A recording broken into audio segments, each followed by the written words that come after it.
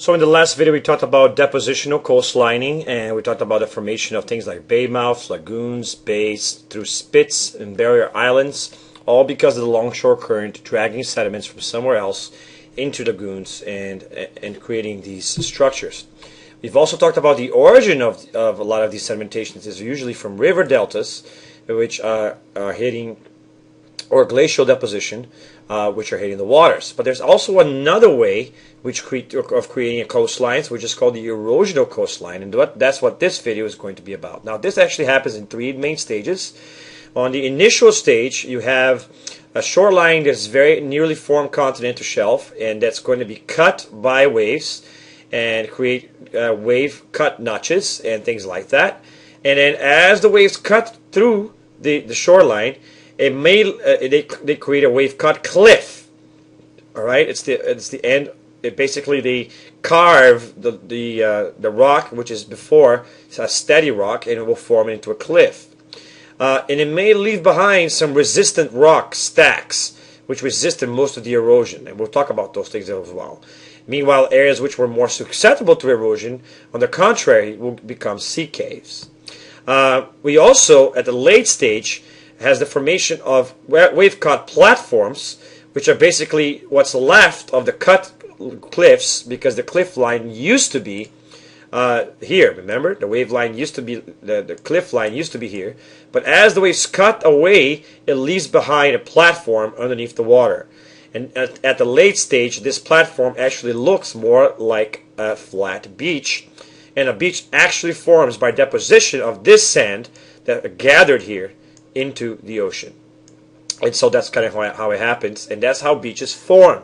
And that's how the continent, by the way, goes from having that flat continental slope destructive thing into little by little being wave cut into cliff deeper and deeper until you actually get something that looks like a steady steep of the continental shelf. Uh, and so that's kind of how uh, this all forms. And let's talk about uh, each of these stages now. Now, this is what you would see on the initial stage when you have those wave cut notches. And you can see that the, the hard rock cliffs will actually resist erosion. And because they're so hard, they tend, they tend not to collapse until it gets very last minute. There might be some landslides uh, which are created when they actually so much, as the cliff retracts so much, some of the material will landslide eventually. But originally the cliff face is much deeper than it is but as the tide uh, and waves attack the water, and it can actually attack much deep, much higher than they actually seem because of the spray and how much they actually hit it, it will actually cut through the rock, and little by little, more and more of the cliff is gets destroyed, leaving behind that platform that we talked about uh, just just now. Now, whenever there's areas within the cliff, there are actually uh, uh, weaker than areas above the cliff, it actually may cut into the cliff and cause an arch to form. And those are beautiful structures that form in beaches like this. And so we'll talk about this next. Now, uh, this will be a little more like stage two, when you also have you have already have those wave cut terraces or cliffs, and the waves are doing their job and working through those cliffs and creating new notches and basically carving through the through the line, creating a platform that's left behind. You can see the platform forming here uh, on that area right there. And then at late on the stages, you start seeing the deposition of sediments along the lines of the cliff and a, a, subset, a, subsequent formation of actual beach lines. All right? And that's kind of the process that it, that it happens. And on, as you head more towards the intermediate stage and into the late stage of this. Now, Going back to the intermediate stage, you will see things like uh, wave cut terraces, like I showed you just now. In addition to that, you see the headlands. By the way, headlands are like areas of resistant rock that don't erode as fast as other areas. You see how over here the, the, the, the shoreline is receding, but here the shoreline is resisting. What this is going to create is an area of shallow water here and deeper water there and the the water is actually going to try harder on this because it's going to come the way we talked about this on the previous video waves will tend to concentrate on the headland and actually disperse in here which means the waves here are typically weaker than the waves in the headland area But even though, even then, the headland still uh, tends to resist because it's made of hard, hard, harder rock material. And you see another headland right there. And you see how there's more deposition actually happening uh, along the, the beaches on this side. And you can actually see how the color actually changed the water because of all the deposition that's happening on the, uh, on the deeper water there as well, away from the platform the, of the headland. All right, so Another feature of this inter, inter, between the initial and intermediate stage are arches. And like I told you, arches are built because certain areas of cliffs or, or of a headland might be less sturdy than others. So this used to be headlands which were solid like, but the rock in those areas was not as sturdy as rock in other areas, and then you end up getting these patched cliffs uh, out there in the open. It's beautiful. Uh, it's a beautiful example of wave erosion. Now, a variation of these cliffs is something that we actually call stacks. Now, stacks is when the actual uh, cliff is, uh, is carved uh, altogether or separated altogether, or when uh, instead of forming a cliff, you form an isolated section of headland. So this used to be a headland, but it got cut in half, uh, and a really strong piece of headland got left behind, forming a stack. And you see that all these beautiful sea stacks and, and how they are still resisting because of they're made of tougher rock material than the material that's around it. Now, eventually, the stacks will be eroded, but not. In, but by then, the beach is already going to be looking completely different uh, because the material is much much harder. Now, the opposite of stacks is when you have uh, areas where the material is actually weaker than the surrounding area, which allows them to carve into it. Now, that's pretty much what happens with an arch. But if the arch is, uh, if the water is, if it's weak enough, it will go deep enough into the actual cliff side to form such a deep notch that by definition you end up getting something that looks like a cave. And this is what we call sea caves, and they are another beautiful example of wave erosion at its best. All right.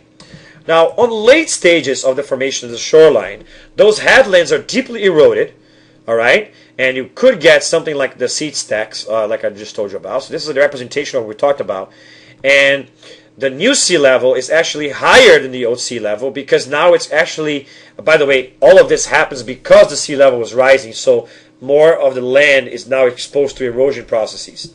So as the sea level rises, it actually causes the cutting of land. So that's kind of the whole, the whole point of what I'm trying to say here. Wave erosion is caused by raising of sea level uh, sea levels. Now, it will create the cliffs, and and towards the late stage, you you will basically get the arches, the caves, the stacks. So, by the way, smaller steps are called stumps, and remember the headlands usually are more resistant than the other material, which can, actually can create the formation of a beach where the water is going to be deeper than the water right in front of the headland and the, and the waves are going to be slower, and they're actually going to be carrying deposition material to form a beach here. So whatever is getting eroded off the headland ends up being picked up and thrown into the beach. And that's kind of how it forms. Um, and I showed you this feature here because uh, back in the day they used to hang pirates from these sea arches. Very, it was very scary. But as, as, as big ships came towards the towards the, towards the uh, shoreline, they used to see the hung pirates, and so there used to be a uh, used to, cool thing. And by by the way, so if the cave is if, if the sea cave is deep enough, if deep enough, you become a sea cave. If not, you just stay with an arch. So and it all started as a wave cut notch, right? And that's actually happening to the sea stack as well. And that's the base here where the waves no longer are eroding because they're too deep, the water level is too deep. Now notice something else that's interesting, this terrace. This here looks like a stack, this looks like a cliff notch, and this looks like a, a, a um, thing. What's happening here? Well, this is an indication of what used to be the shoreline. So hold on a second. Are you trying to say that the water was all the way up here? Well, yes.